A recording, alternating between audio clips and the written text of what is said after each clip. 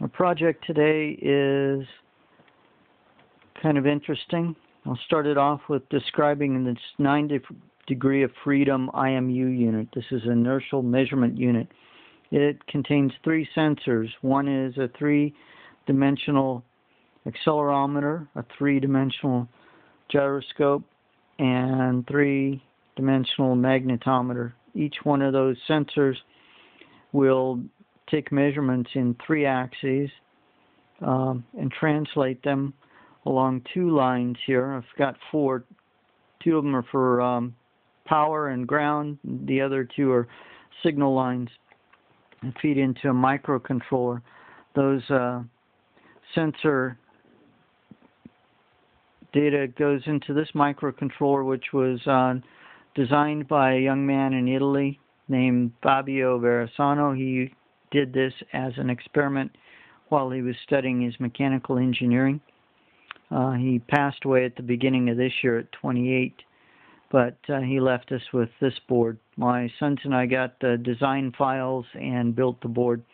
It's been programmed uh, with uh, a program that was initiated by Dennis Frie in Norway um, for a head tracking unit. I've adjusted it, edited it to add direct wired servos, and that's what we're uh, showing off today.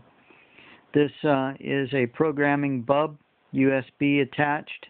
Uh, for this experiment, it has programmed the MCU, but now it'll only be used for power to power the MCU and the, um, the microcontroller and the IMU unit.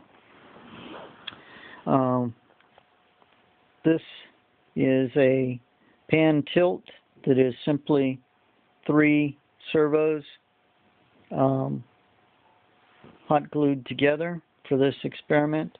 It's getting power from a um, breadboard which is powered from a wall wart 5 volts.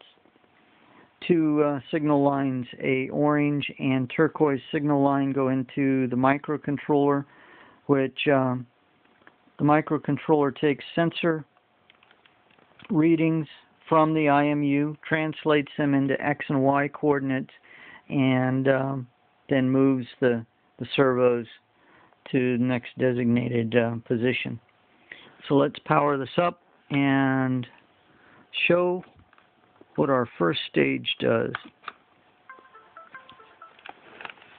The uh, microcontroller is booting up. The uh, camera is locking in and getting in position. Okay, it seems to be stabilized. Now, as you see, I'm moving the IMU unit. Camera goes up and rotates as I move the board around.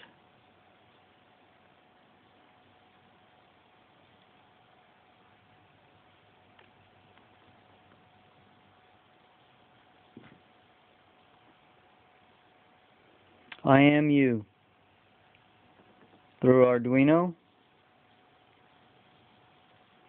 It's a wired mess.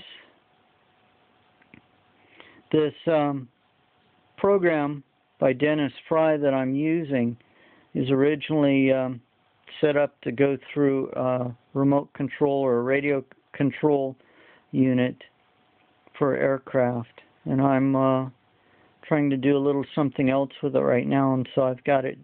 I reprogrammed it to work with direct wire, and as we can see, it works.